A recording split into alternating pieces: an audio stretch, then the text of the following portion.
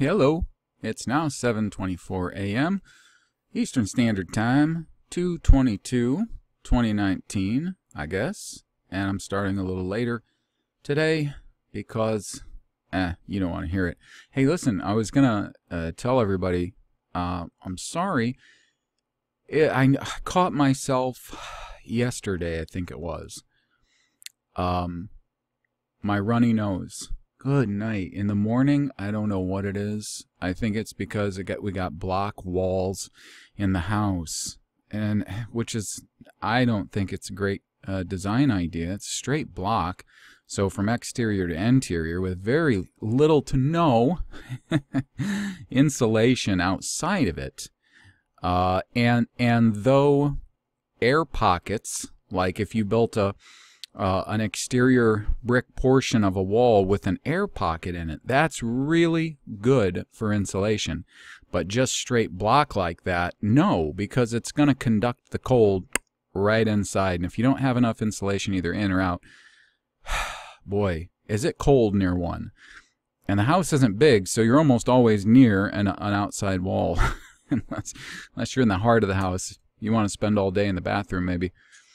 Um, so yeah, my nose runs like Eric Liddell, and uh, I try to keep it from you know, and I try to keep from sniffing into the microphone. Try to catch myself. Sometimes I don't. So now, uh, this is this is part five on Joe Smith and the Kabbalah, and I'll be uh, 100% honest with you. I didn't know that it was gonna take take five, and it's gonna take more than five. And uh, I didn't start out with uh, the intention of spending as much time on some of those uh, those sections, you know, as I went. But the the second time through of reading them, I started to realize that there is there is an importance to at least hit on portions of those sections and um, provide a bit of commentary commentary because something I saw is just this consistent vein, of course, running throughout. There is nothing new under the sun. So if you can see uh, that common vein, just like the author Lance Owens does, because he, he continually, in each section, no matter what we're talking about, he is is pretty easily able to just draw your attention back to Kabbalah. And here we have this expression of this, and although, boom, back, Kabbalistic back, it's Kabbalistic. Now, I never had any desire to read any portions of Kabbalah necessarily. Um, some might be necessary. You, you've got why? Well, you've if you're gonna spot first off, you're gonna spot a counterfeit. Uh, or if you're going to be investigating, claims like this made, you've got to get somewhat familiar with certain materials. I mean, it's the same thing with Talmud. The last thing I want to do is expose my mind to much of uh, what's in the Talmud, but uh, sometimes it's just necessary uh, as means to an end. Okay, so anyways, uh, that's that. So we, I am going to spend probably a little more time in the text uh, of the article because of where we're at now. Because at this point, he's getting us a lot closer to Joe Smith. Um, and this is the stuff that gets really important, and it allows us to uh, see a, a pretty far beyond uh, the article. So he says in the section on Hermeticism in the magic worldview a decade ago, Mormon historians were forced to confront the subject of Joseph Smith and the occult or magic worldview, a confrontation caused in part by the discovery, in quotes, of the so-called salamander letter. Replete with references to seer stones, treasuries, and enchantments, the letter also related that Joseph Smith obtained the Book of Mormon not from an angel, but from a magical white salamander, which transfigured itself into a spirit. Though the letter was subsequently proved a forgery, For two years, historians labored under the assumption that the letter and several companion forgeries were genuine. Now, I actually would like to see uh, the ways in which uh, they went about proving that was a forgery. But uh, I'll continue. In the wake of these events, the prophet Joseph Smith's spiritual roots came under a careful scrutiny. Ironically, investigators soon brought to the surface a wealth of unquestionably genuine mater material, much of it long available but either misunderstood or ignored, substantiating that the Smith, Smith and his family had a variety of interactions with non-orthodox Western religious traditions generally termed occult. Repercussions from this difficult period in Mormon studies are still playing out. Cast into the realm of occult history, historians tried to make sense of this occult Joseph Smith and early Mormonism. The general interpretation eventually adopted by many investigators structured Joseph Smith's links to the occult within the sociological context of New England folk magic and its magic worldview. D. Michael Quinn's seminal study, Early Mormonism and the Magic Worldview, was initiated during this period. In his introduction, Quinn began by exercising the forgeries and summoning the facts. The historical issues these forgeries raise, this is Quinn, require, I believe, a careful reevaluation of evidence long in existence regarding early Mormonism and magic. Sources, whose authenticity are beyond question, provide evidence of Joseph Smith's participation in treasure digging, the possession and use of instruments and emblems of folk magic by Smith, his family members, and other early LDS leaders. The continued use of such implements for religious purposes in the establishment and early years of Mormonism, and the sincere belief of many early Mormons in the magic worldview. Hmm. Okay, subsequently, Quinn moved beyond these simple data. Indeed, comprehensive is hardly an adequate description of his survey. So, uh, yeah, it's fair to say Owens didn't quite agree with Quinn. Magical rituals, Kabbalah, Hermes Trismegistus, Rosicrucians, seer stones, divining rods, Masonic lore, and astrology, Quinn binds them all by evidence weak and strong to Joseph. Less integrative than extensive, his study is a foundation work which, as any study work should, leaves far more questions unresolved than answered. The subject broached by this effort demands further evaluation. A crucial correction, however, must be made to the methodology used in examining the data. The concept of a magic Weltanschauung, or worldview, must be balanced with an intensive historical casting of early 19th century occultism lineages and mythos. Particularly important is a careful examination of Hermeticism and the nature of the religious vision it encouraged. and here comes the talented apologetic. Faced with a vast subject, Quinn constructed an arena for its study by circumscribing the concept of a magic worldview within the culture of early America, and then summoning the various facts that drew Joseph Smith and other early Mormons into that circle. The definition of magic came from Webster's Third International Dictionary, augmented and slightly expanded. Magic is and not to quote the whole definition given by Quinn, I will abbreviate. The, quote, use of means that are believed to have supernatural power to cause a supernatural being to produce or prevent a particular result, unquote.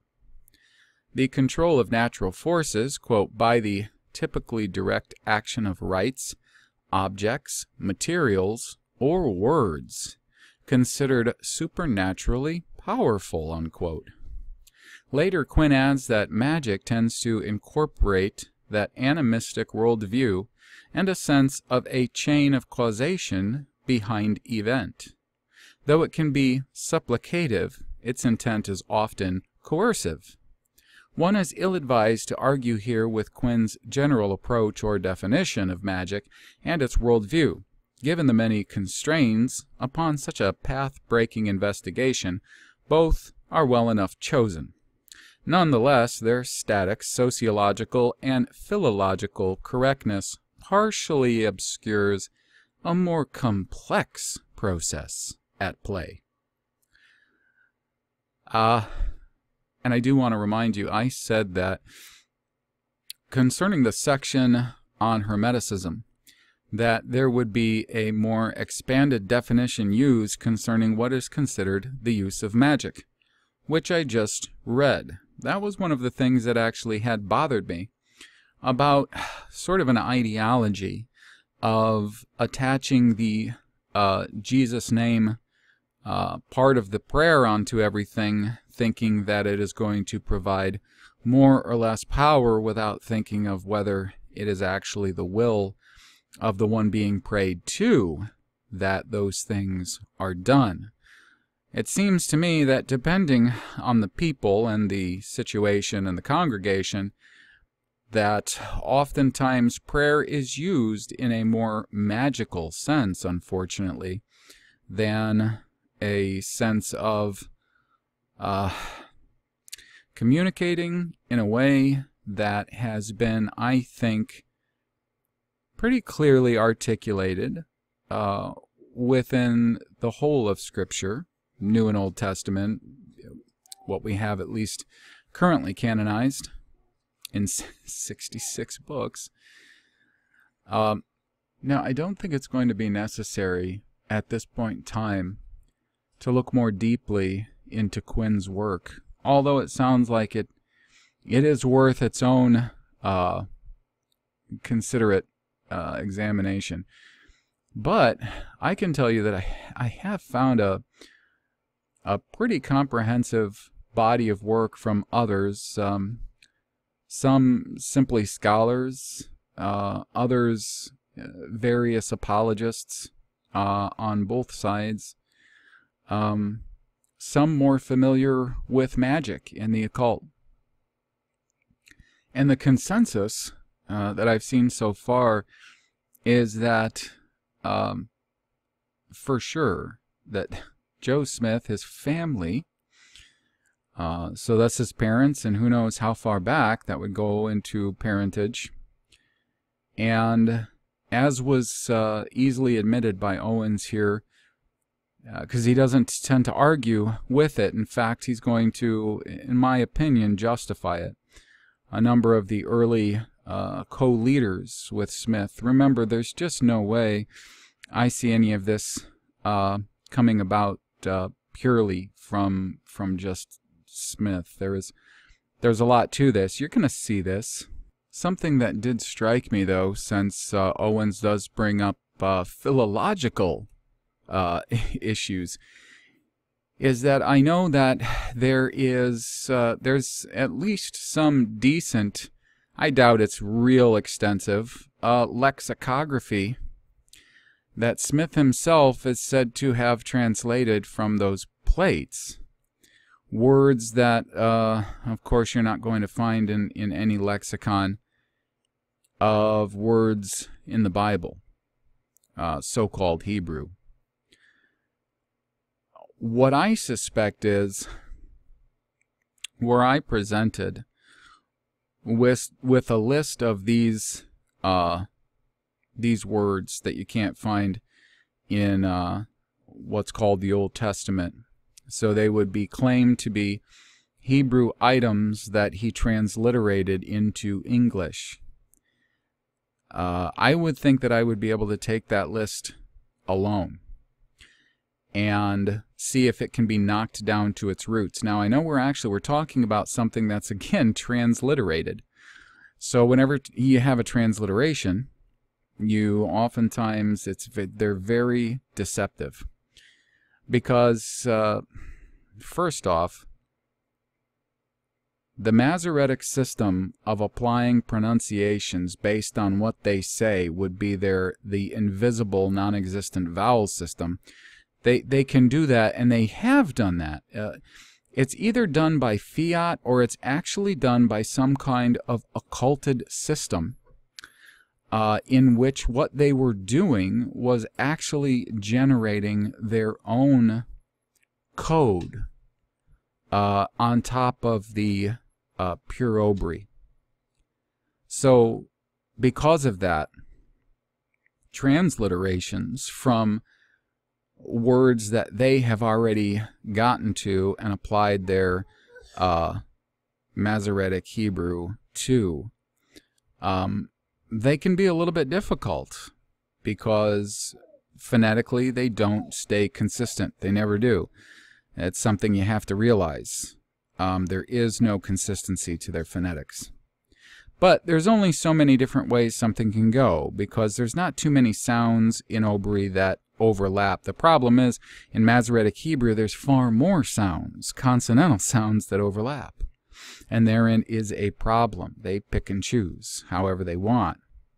However, I still think that I could be presented with a list of words and them in their basic context, so I understand how they're being used, and tell you whether or not those are even authentic items that should match up with Obri as a language. I think that would be telling. So now, Owens continues forward and writes, Magic came in many forms, high and low. As discussed earlier, in Europe, the medieval legacy of magic was transformed between the 15th and 17th centuries by an influx of the highly refined Kabbalistic, Hermetic, and alchemical traditions. During that time, magic became, at least for scholarly adherents like Pico di Mirandola, uh, Giordano Bruno, and John Dee, it's a name that a lot of people would recognize, John Dee, something akin to a religion. In the Hermetic Kabbalistic interpretation, magic had more to do with obtaining experiential knowledge of God and the celestial hierarchies than the, with the particularistic goals of control and coercion, the, quote, digging for vulgar gold, unquote. And that may just be the overt forms of these things. Both Jewish and Christian practitioners of the high magical arts would have judged Webster's definition as applicable more to a reprehensible form of popular or folk magic than to their own pursuits. I don't know how you would get a Christian practitioner of magic. You can't serve two masters. You'll either love the one and despise the other, or cling to the one and reject the other. So that's an impossibility. You can't be a Bible believing magic practitioner. Doesn't work that way. Um, and that's the problem there. Really, that's probably shoots more to the core of problems we see herein than anything else. There, there is no duality of these things in, in Yahweh's world. In his sphere of law and statutes and judgments and the way that we are to conduct ourselves, there's no room for anything other than what he has prescribed. So he, he continues by the 17th century, this Hermetic magic had become thoroughly intertwined with a wider reformative religious vision and a coherent foundational mythos. This view asserted the human potential for divine communication, progression to ultimate knowledge, and even union or identity with God. So now, in his continuation of his apologetic, in trying to separate what even he himself is uh, kind of uh, supporting, the sense that these sort of more refined uh, occult practices would have considered common magic vulgar Remember the the quote from Alchemy about vulgar gold. So he quotes a, uh, the historian Keith Thomas concerning a difference between uh, sort of a higher and lower magic. He said it was it would thus be tempting to explain the practice of popular magic as the reflection of the alchemi- alchemical and hermetic intellectual interests of contemporary scientists and philosophers, but such a claim of reasoning would almost certainly be mistaken. By this period, popular magic and intellectual magic were essentially two different activities, overlapping at certain points, but to a large extent carried on in virtual independence of each other. And essentially, what we're seeing him draw a, a stark difference between in this section. Basically, uh, your con man gypsy magic and what would be considered, I guess to put it my way, uh, what I'm seeing coming through here is a type of more refined um, sort of magic worldview, which uh, let's be 100% honest, this this is not something that was was spread around or proliferated to commoners per se. Um, the hoi polloi. This is definitely something that throughout the ages, uh, based on all of the names of the practitioners he he's even given so far, and who we can see historically being practitioners of it, and in our own day and age, those sorts of disciplines were definitely not being proliferated among the proletariat. Uh, this was definitely a bourgeoisie uh, type of thing, and you could separate them in that way. And it seems that Lance Owens, uh, you know, he takes offense in a sense to this this lumping in. You can't just. He wants to, I think, very much uh, contradict the uh, the man who wrote extensively on those excess letters that were found that could genuinely be attributed to Smith. Uh, you know, it's like he, he does. It, he takes offense and he wants to very clearly delineate these uh, differences between common magic and what I believe he is putting across as something far more divine and, in a sense, revelatory um, his last paragraph on the subject, he says, in summary, the treasure digger's magic worldview, the supernatural method to means must be distinguished from the more complex hermetic vision conveyed in the mix of Kabbalah, ceremonial magic, Paracelsian medicine, Rosicrucianism, alchemical symbolism, and several esoteric brands of masonry and what a young Joseph Smith could have learned from a rodsman, ensconced only in a magic worldview, is less important to his religious development than the kinds of ideas a hermetic initiate might have stimulated. Now, it is in this subsequent section, Joseph Smith, Hermeticism and Kabbalah, in which I think Owen's talents as an apologist really shine through. Um, really, whether intentional or unintentional, the uh, the sheer amounts of sophistry and casuistry can't escape my attention. Uh, it's pretty obvious that this author has, for one thing, an extensive vocabulary not just a knowledge base, not just uh, well researched in these particular areas. No, uh, he uh, he has quite an extensive vocabulary as well. He is very well educated uh, and very talented at writing. And something that I just want to, to point out because it's been emerging. Uh, I think up until this point, it has been far more subtle. Is his own dualistic nature as an apologist and as a writer. You're going to see that in just the first couple of paragraphs, which I will read uh, in total. so you can understand whether whether it is a talent and it is deliberate or whether like the argument he makes it's something that's uh, just a natural outcropping of uh, the information he's handling. It's definitely present. It's definitely present. And uh, and this man is not speaking uh, to the common LDS reader.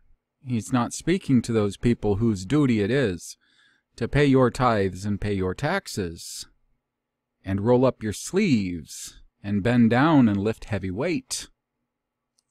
I think he is far more writing to the adept reader. so anyways, he begins this section. In the period before 1827, Joseph Smith probably had some passing interaction with individuals knowledgeable of Hermeticism and Kabbalah.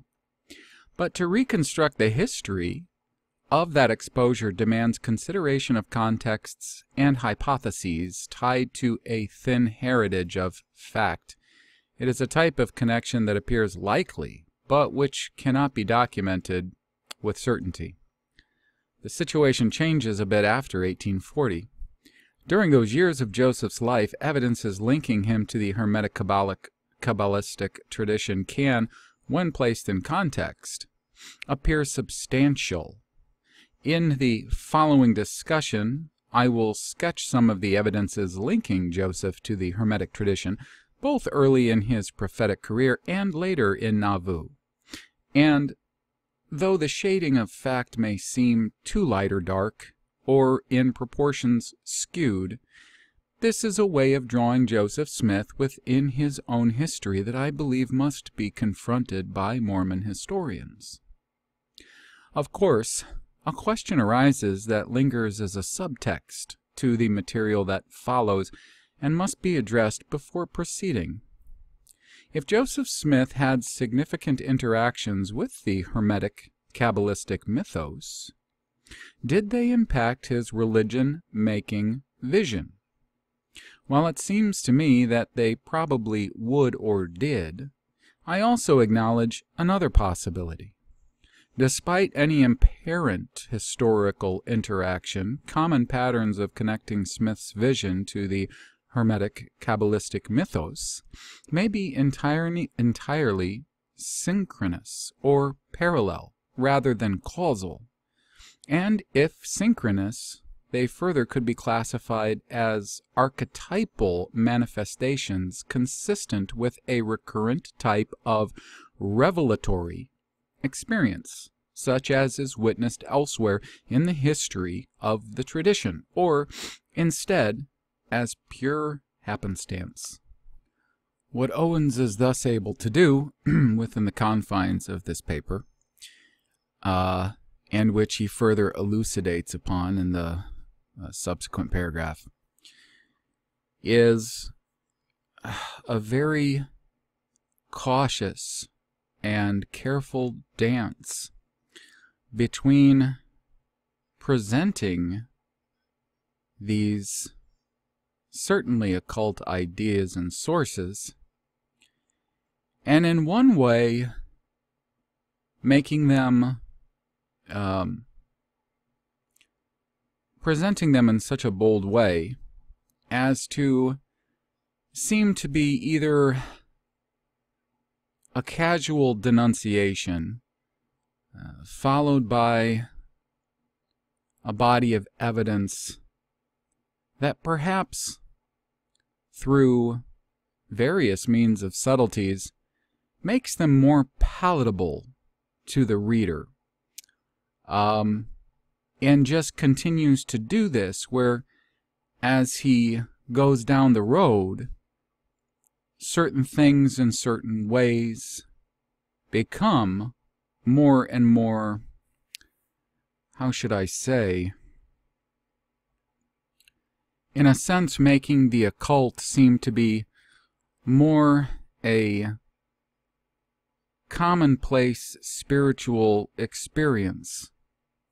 And I think he has said as much, and I'm probably just going to have to read this next paragraph as verbose as it is. Um, because one thing that I fear that I'm witnessing, and I hope others can uh, affirm this, is that there is the most uh, ingeniously subtle justification of a clear sort of uh, occult mindset and themes that when anyone can find them within the works of Smith, if you simply refer back to his apologetic in this paper, it might help to to soothe certain uh, instant sort of knee-jerk responses you would have. Um, I'll have to save any more commentary until after this. Again, verbose, but perhaps necessary to build on this case. So he writes, If one is inclined to look for links, deeper levels of complexity soon intrude.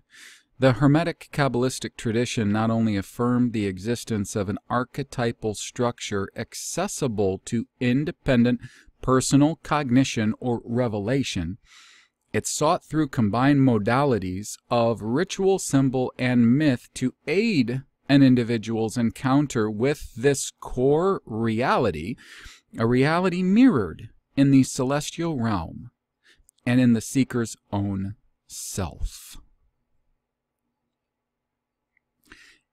I'm letting that sit. Accepting that some individuals obtain these experiences, the question of causal versus synchronous links becomes circular.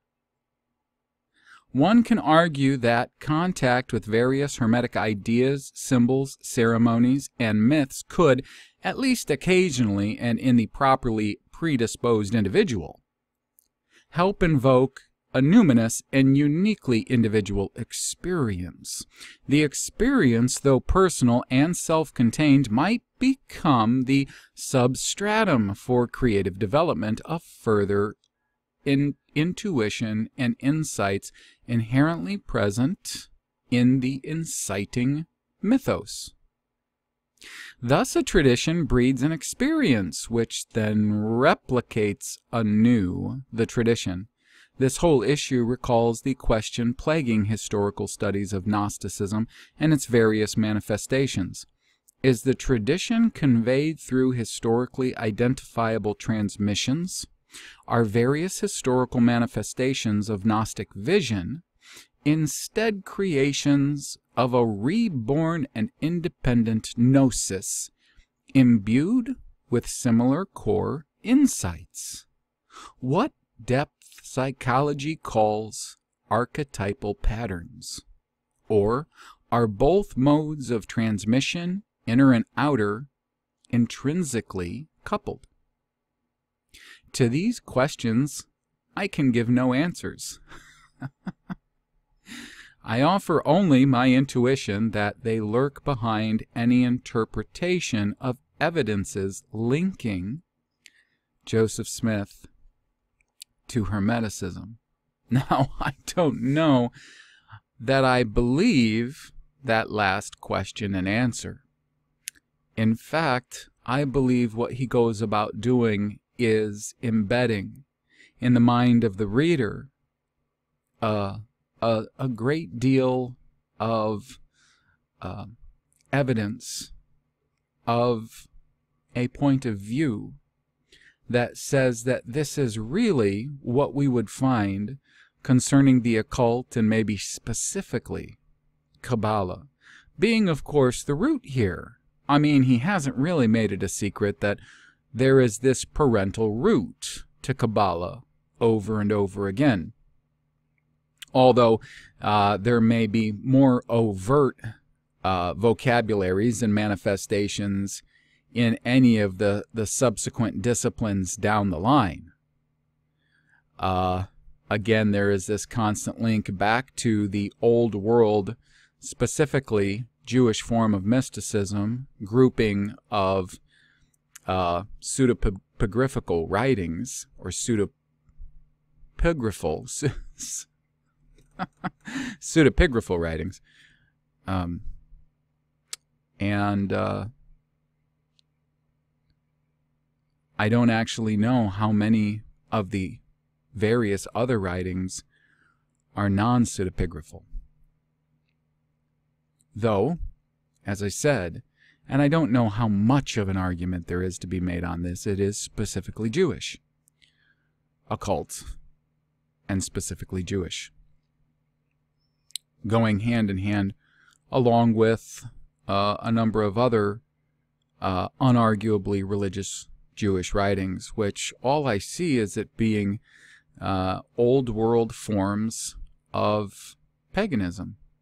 And if we want to bring in other things like witchcraft, necromancy, wizardry, then so be it. I know that one thing that has to be working here is this preconceived notion that today's Jews are in fact the expression of yesterday's House of Judah, which of course cannot be proven, neither by the Jews themselves nor by anyone else. Not at this point in time, and of course by fruit, not at all whatsoever. So at this point, I think what this is going to help us do is to establish some questions and ideas that are, that are uh, of course Owens doesn't answer and I don't know that anybody has answered but I think they're questions that we're going to have to at least answer in our own mind before we can continue past this fledgling organization and try to answer some questions beyond it because there are questions to be answered beyond it. There is, of course, the uh, the surface level history, and I don't know how much of that anybody wants to believe. I think we can make judgment calls on a lot of the earlier traditions of what many people try to pass off as being factual or true, whether they are or not, and to what extent, I think we can use as a judge and a guide for actions that took place hereafter in the history of LDS, where they went, why, who were their associations, and so on and so forth. I'm going to go on to read what he has to say furthermore about Dr. Michael Quinn, because the mere fact that he feels that he has to um, address this so strongly is telling. He uh, writes, Dr. Michael Quinn extensively details evidences of Joseph's early contact with Hermeticism, though he emphasizes the folk magical aspect. He offers the Smith family's carefully preserved magical parchments and dagger and the talisman Joseph carried on his person. One recognizes the prominence, oh, the prominent use of Hebrew on both the parchments and talisman, although the reason for this has not been put in clear context by Mormon historians. The Hebrew came from Kabbalah. As Quinn documents, Knowledge necessary for the preparation of the Smith family magical implements could have been obtained from books of magic available in this time and region, and such materials might have been acquired specifically to aid magical activities associated with treasure seeking. Preparation for and proper performance of a magical ritual including production of a ceremonial dagger or parchment, was, however, a lengthy and complicated venture demanding knowledge of an arcane vocabulary. The vast host of angels and spirits addressed in different magical rituals had specific names, again drawn from Kabbalah. Elaborate magical signs and varied functions within the natural and celestial hierarchies. From this complexity, magic lore made it clear that there were definite existential dangers in getting the details wrong. It thus seems likely that in addition to information gleaned from books, family members would have augmented their knowledge by associations with individuals experienced in ceremonial magic and the occult arts. In this company, Joseph Smith might have first been exposed to a person versed in the deep breadth of Hermeticism. Guys, I don't know if I can even begin to unpack the mountain of telling information in that paragraph alone, or address the chagrin that I have that Owens is, uh, he's not even denying this. The fact that in the paragraph before this, uh, uh, Owens goes to great pains to to really, though he asks and answers, uh,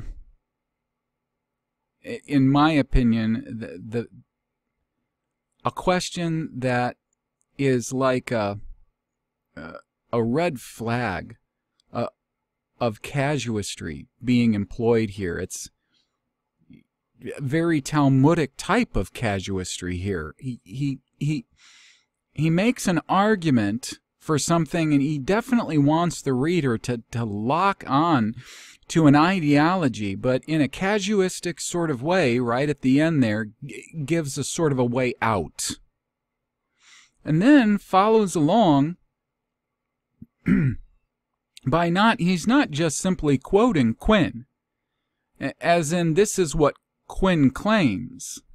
The fact is, he's making these things plain and clear, as though they're not arguable, but the oddest thing of them all, like considering the fact, you know, when I first read this and I saw, I saw him just offering, um, the fact that the Smith family had carefully preserved magical parchments and a dagger what do you think the dagger is used for in a magical ceremony? To cut bread? And the talisman Joseph carried on his person. One recognizes the prominent use of Hebrew on both the parchments and the talisman, although the reason for this has not been put in clear context by Mormon historians. Well, who needs them to put it in clear context? It's a fact that exists, and I think by the time we're done, we're going to have that in really clear context. And then he goes on to state again, not as, as something that's arguable, the Hebrew came from Kabbalah. And then, uh, just a couple other things, and I'm having a little trouble processing this. Um, he says as Quinn documents, knowledgeable, uh, sorry, knowledge necessary for the preparation of the Smith family magical implements could have been obtained from books of magic available in this time and region. And such materials might have been acquired specifically to aid magical activities associated with treasure seeking. He's telling me this the Smith family. So we're talking about his parents. We're not talking about we're not talking about just books you could get in the 1820s. They were practitioners of such things. It's the family he came from. And of course, as far as I am aware, it is far beyond being rumor of his Masonic associations, that of his family. But he's trying to say that magical books were, were, were readily enough acquired? No kidding.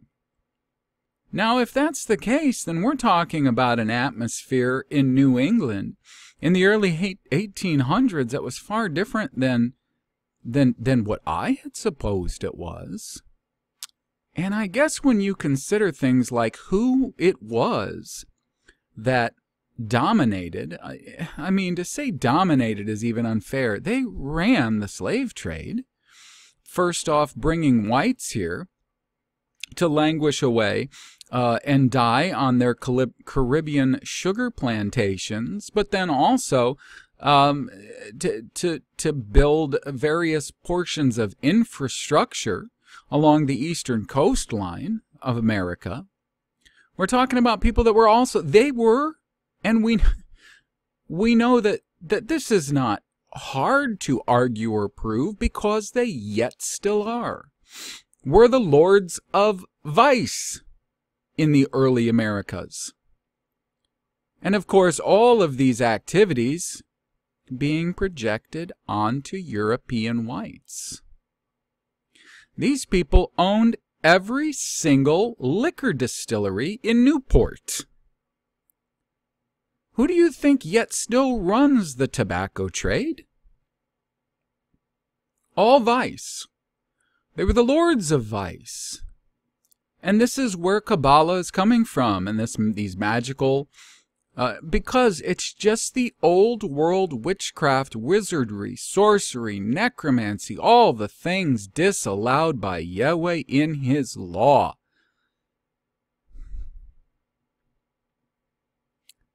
But the idea that books on these subjects would have been so easily available, again, I have to tell you, I'm surprised. Now, I, I don't, I really don't think by any uh, information that I've, I've ever seen that anybody's going to readily enough go to any sort of of bookseller and be able to acquire something like this in the atmosphere of the early 1800s or the late 1700s in America, I would not think. I know, of course, that the the Freemasonry of uh, those people so called the founding fathers and very influential and powerful people it's just not really in question anymore. The, the biggest problem with sorting out the history of these days is because, well, they've been so successful in removing their part of the uh, of the doings and the happenings out of the equation. So was it so hard to get these books or wasn't it? Well, I don't know. But is he saying that Quinn is documenting that it is? Uh, or was, I'm sorry. Easy to get such things? I mean, even in today's day and age, there is still some semblance of shame in, in such things. Not in all areas. Um, the only problem is it's just some semblance. But then he would go on to say, and this is the other thing that, that should just surprise, I guess, uh, in light of of the, the case that he just made in a paragraph or two before, as though this could be just a natural outcropping of of these uh, Kabbalah, Hermeticism, uh, alchemy, various forms of Rosicrucian Freemasonic thought that that they they really are just the the couriers of of a higher uh, sort of spiritual cosmic tradition and and we can't say for sure that there was a clear Kabbalistic influence even in his early days, in the early days of the people that were surrounding him as well, because this is not a lone prophet. Not that I'm seeing. But tries to make a case that that there could just be this uh, just you know see if I can just real quickly the archetypal patterns right? He, he says it himself it's, it's what depth psychology calls archetypal patterns. It's not necessarily that we can draw these clear clear connections to Kabbalah. And we don't even have to put the middlemen in between. Hermeticism, Rosicrucianism, right? Masonry, alchemy. We go straight to Kabbalah just based on some of these things that we've seen him just admit not even arguing with Quinn. I mean, he argues with Quinn about the difference between common and higher magic. This just admits. He says the vast host of angels and spirits addressed in different magical rituals had specific names. Again, drawn from Kabbalah. Elaborate magical signs, varied functions within the natural and celestial hierarchies. From this complexity, magic lore made it clear that there were definite existential dangers in getting the details wrong. I'm sure there were. I'm sure there were.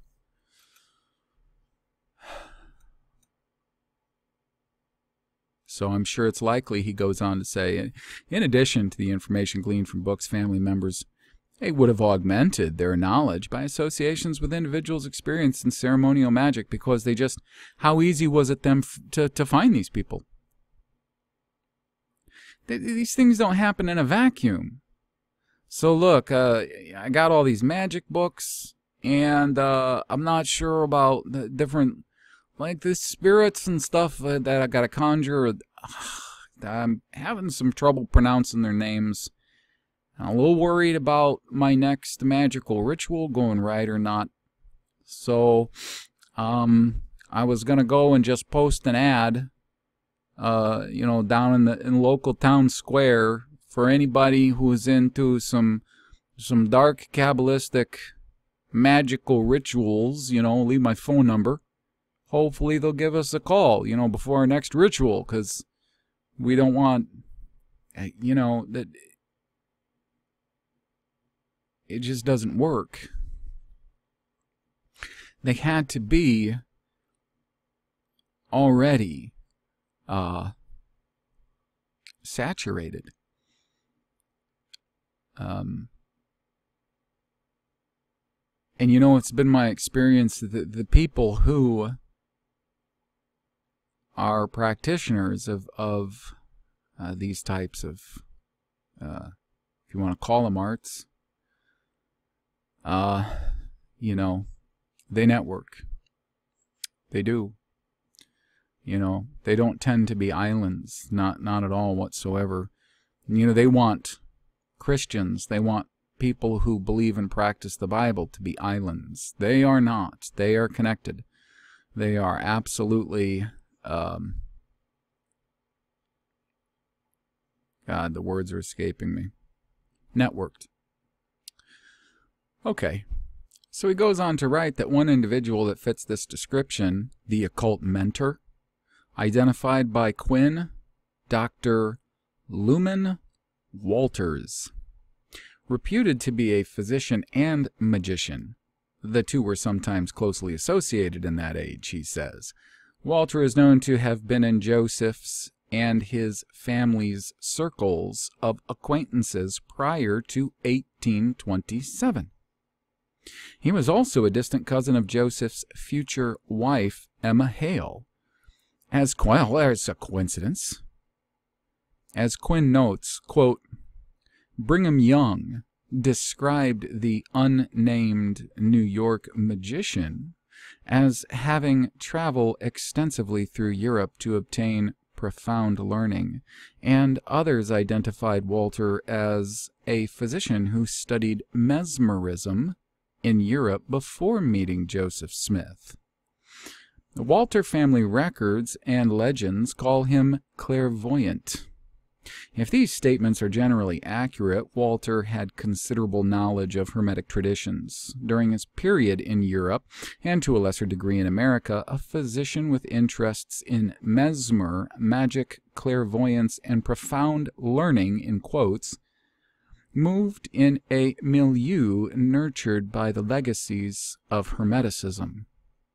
By definition, such a physician stood in a tradition dominated by the medical and esoteric writings of Paracelsus, steeped in alchemy and associated closely with Rosicrucian philosophy.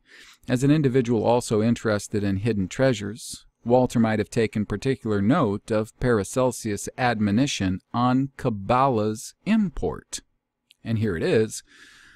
All of you who see land beyond the horizon, who read sealed, hidden missives and books, who seek for buried treasures in the earth and in walls, you who teach so much wisdom, such high arts, remember that you must take unto yourselves the teachings of the Kabbalah, if you want to accomplish all of this. For the Kabbalah builds on a true foundation. Pray, and it will be given you. Knock, and you will be heard. The gate will be opened to you. Everything you desire will flow and be granted you. You will see into the greatest depth of the earth. The art of the Kabbalah is beholden to God. It is in alliance with Him. It is founded on the words of Christ. But if you do not follow the true doctrine of Kabbalah, but slip into geomancy, you will be led by the Spirit which tells you nothing but lies. Now, I must ask, this begs the question. Why did Owens go to such lengths earlier, as if he was insulted personally? To distinguish between this common treasure-seeking magic and all of these so-called higher forms and expressions thereof, which of course he readily admits all have their core in Kabbalah. I mean, if you paid attention to what I just read, Paracelsus is telling everybody, treasure seekers, you want to do it right, you need to pay attention to Kabbalah. Hmm.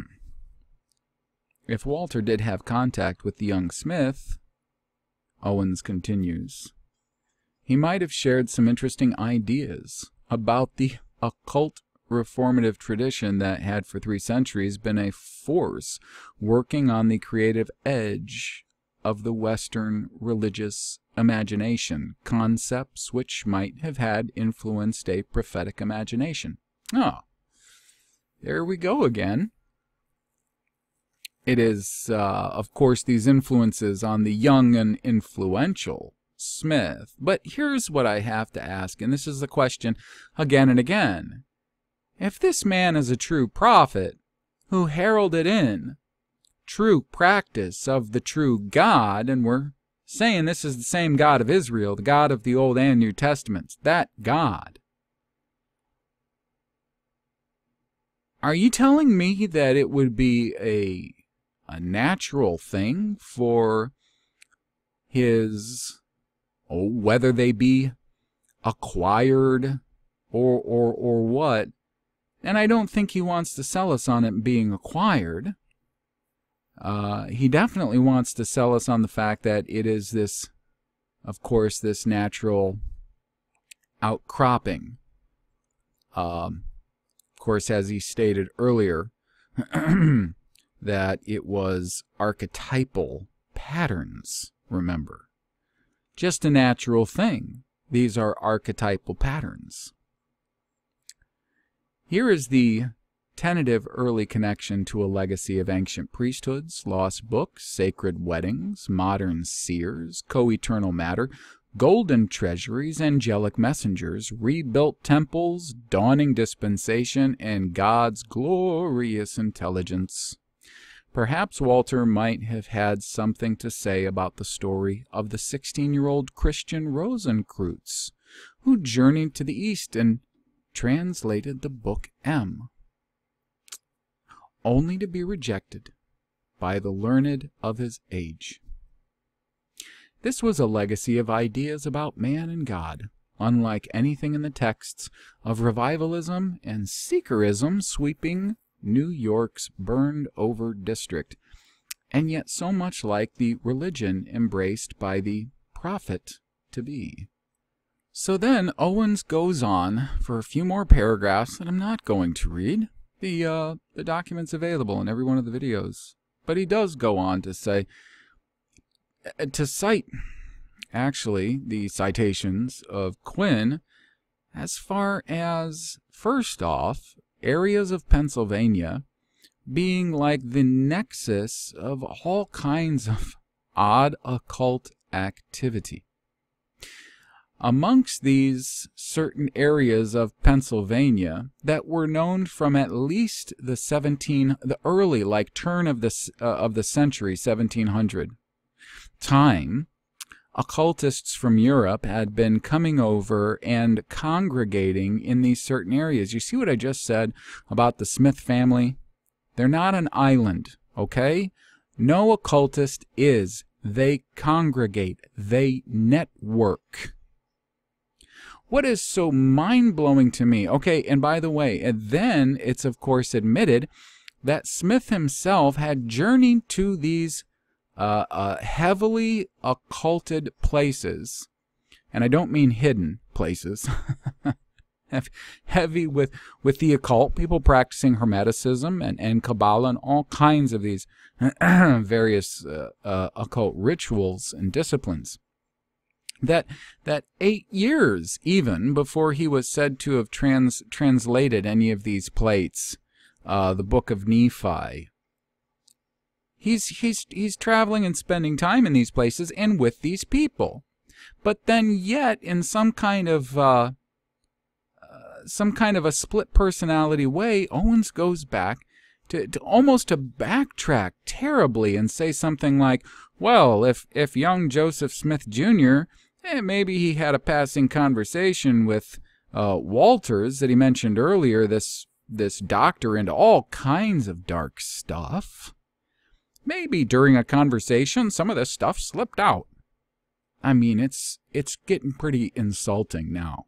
And and that's why of course uh, I'm approaching him with less respect because there is a there is a degree of insult to the reader by ping-ponging back and forth like this. You know, to go on uh, to go on after this and make statements um, like, for instance, uh, he said Joseph Smith's possible direct exposure to Kabbalah before 1840 deserves specific comment, and I will later discuss this in detail in his studies in Nauvoo. The role of Kabbalah in magic was pervasive enough that even with a curtailed involvement in ceremonial magic, Smith would have heard of the subject. And I have to add, wait, didn't six paragraphs earlier you readily admitted to what had been documented by Quinn concerning the parchments, the dagger, the talisman which Smith wore on his person, having the Hebrew on it, which was specifically from Kabbalah. And now he's going to say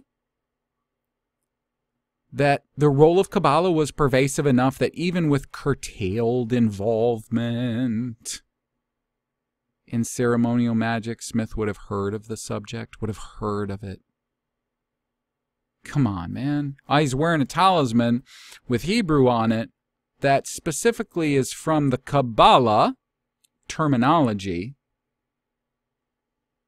but yeah, I, I would imagine uh, uh, that he'd probably heard a subject uh, at that point, even with the limited amount of ceremonial magic that he and his family was into. Man, sell it to somebody dumber.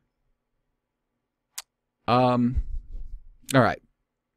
And then just to get to pretty much uh, wrapping this section. Okay, so I'm only going to point out a couple of more things uh, and then try just try to wrap.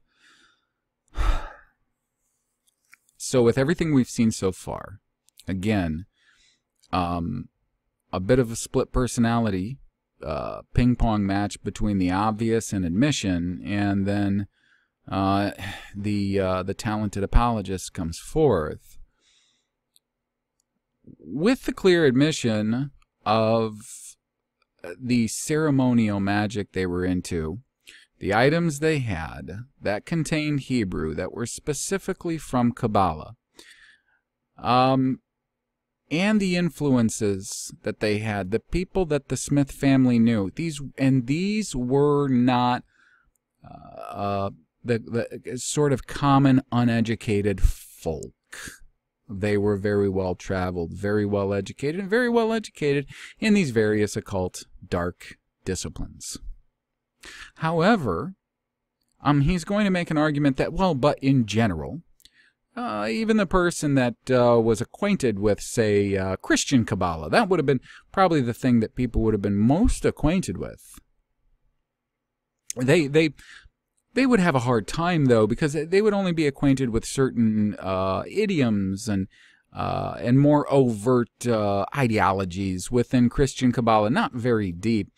And, and not too many of them would have been able to have much access to Kabbalah because so much of it would have been in the original Hebrew. Um, of course, I was pretty sure he said that uh, various copies of the Zohar had been made in, in Latin and other languages. Um, but uh, somehow the Smith family, which certainly sounds quite educated to me, and their friendships, acquaintances, and connections seem pretty educated to me and also educated in the occult and pretty familiar, I would say, with Kabbalah.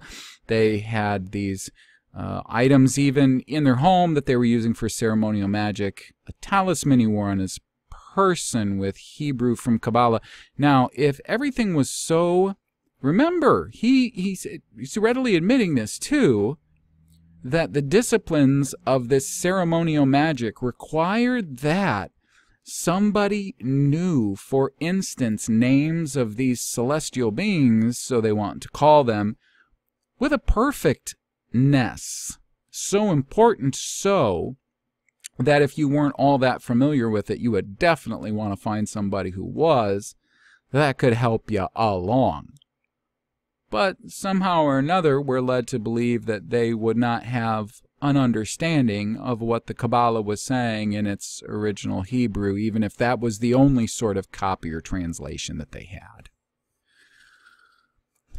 He goes on to say, eh, and this is where he's trying to make his argument, that he would have, in general, been ignorant of Kabbalah.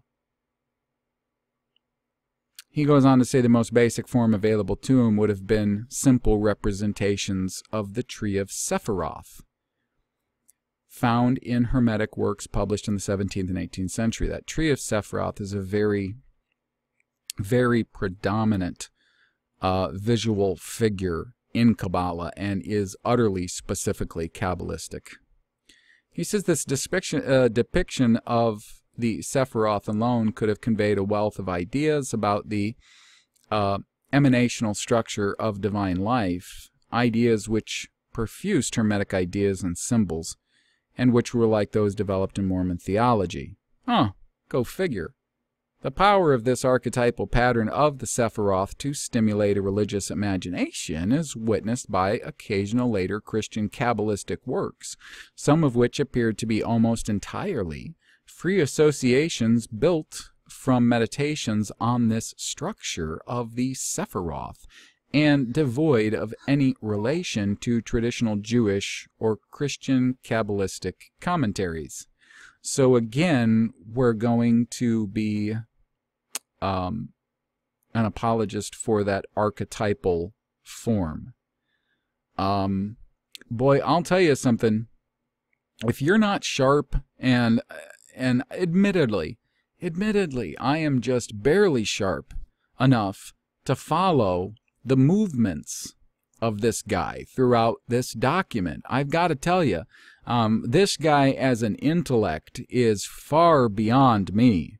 And I have to read and reread this stuff um, to, to really hang on to this roller coaster ride um, of wordsmithing. Uh, and, and as I said, sort of like ping-ponging ideologies uh, that he's that he's that he's throwing down here. And this guy, he's so he's so intelligent. This this author Owens, I, would be hard pressed to believe it, was accidental. Now, just the the last paragraph um, in this section, well, it better be in this section. I want to double check before I say something really dumb.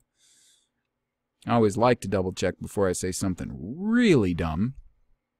All right, so anyways, it is. And he says uh, in this last paragraph, in this vein, a work recently published by Mormon author Joe Sampson is interesting. Sampson evaluated Joseph Smith's writing, including the Book of Mormon and Doctrine and Covenants, and noted a pattern of word and concept usage in several verses which reproduces both the common English names and the general hierarchical structure of the Kabbalistic tree of Sephiroth.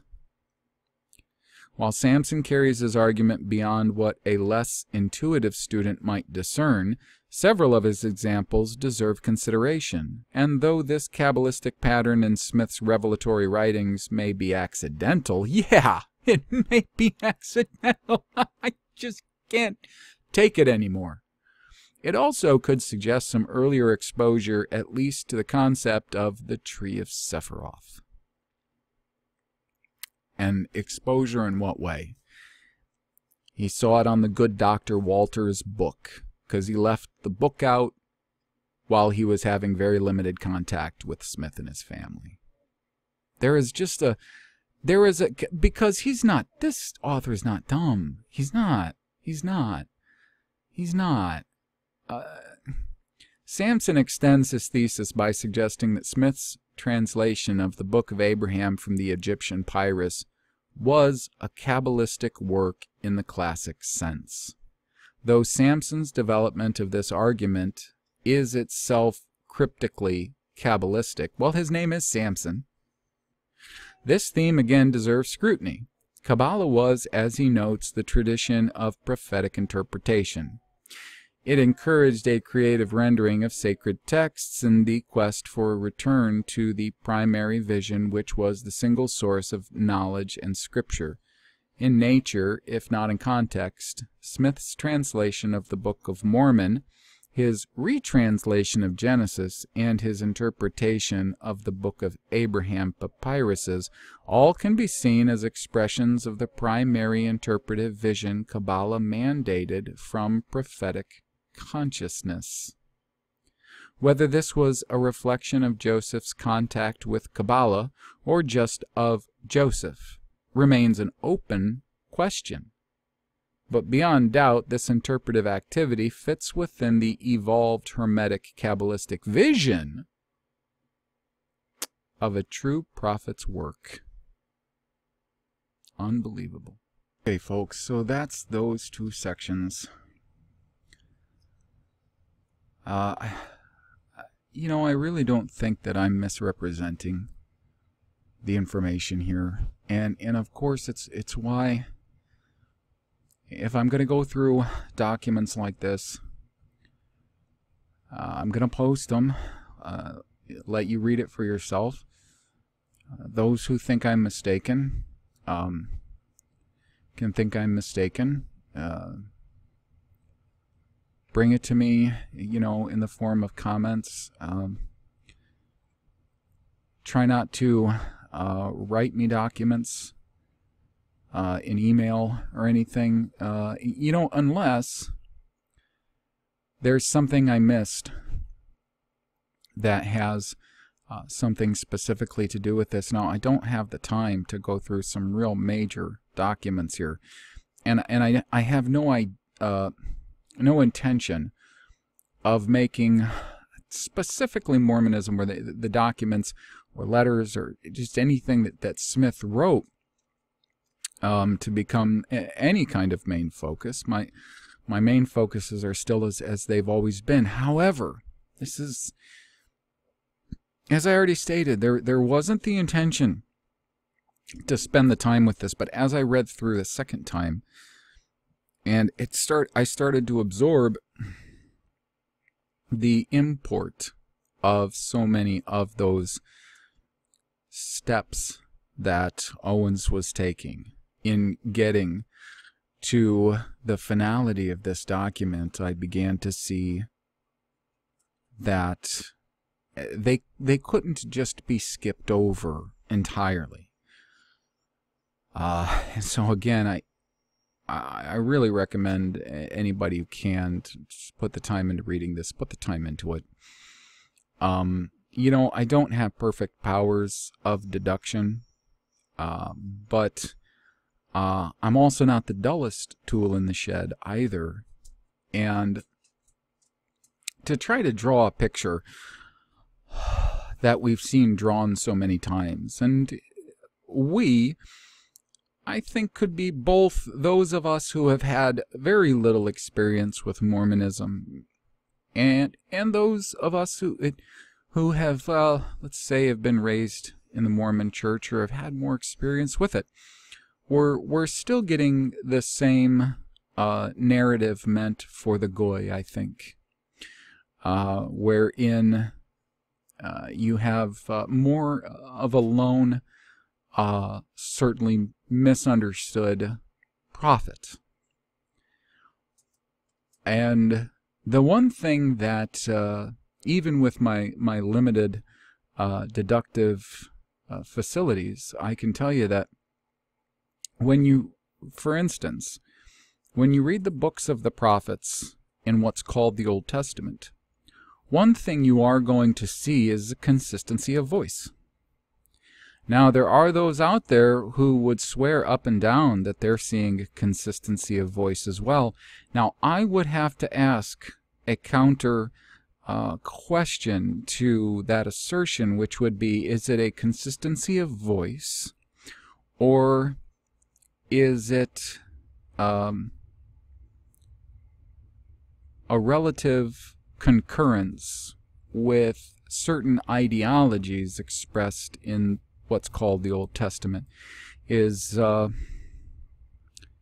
is it actually just a repetition of archetypal forms pulled from a knowledge of the Old Testament?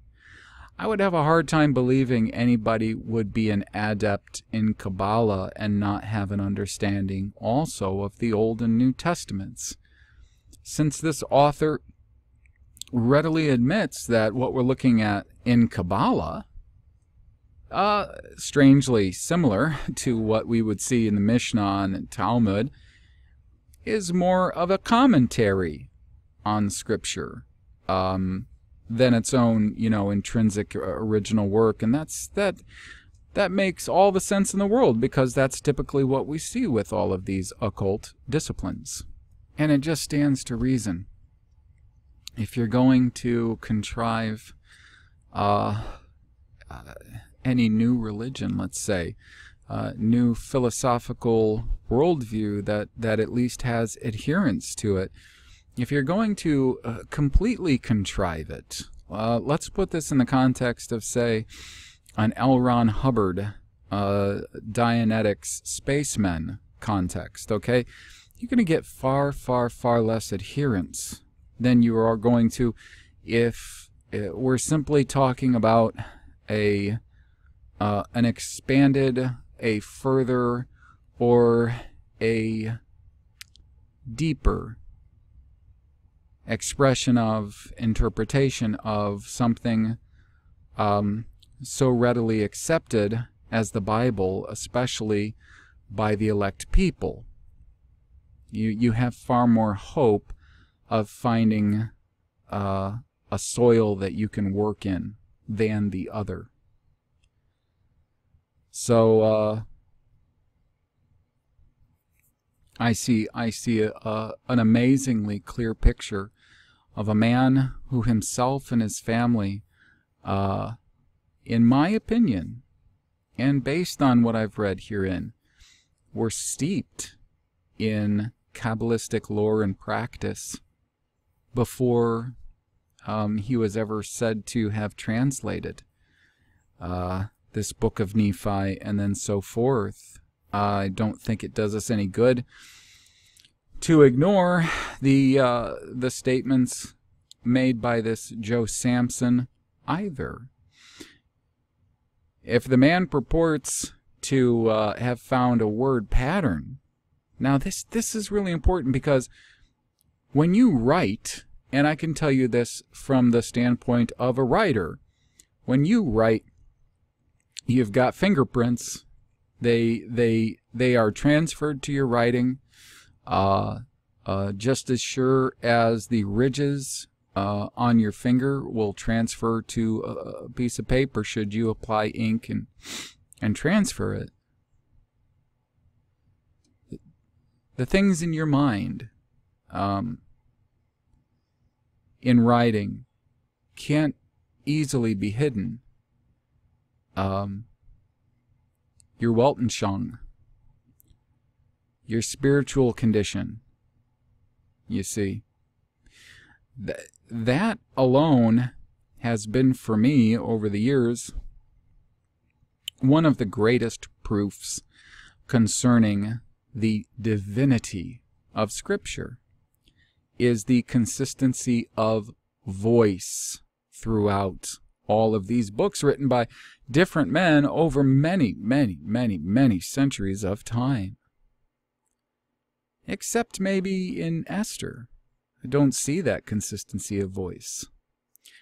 Uh, Esther, of course, the foundation of uh, one of the most celebrated Jewish holidays, being Purim, where they fantasize about robbing, stealing, and killing from all of us who they call Goyim. And hey, you know what? If they really understood, and if all of us really understood what uh, Goy and Goyim is, the nations, and who that that would be referring to. But of course, they don't. They twist everything. All of their terminology is utterly twisted. Um, so I think this is great foundations for where we're going to have to go from here after, and not only in this document, but forward. Uh, so thank you for joining me, and we'll see you next time.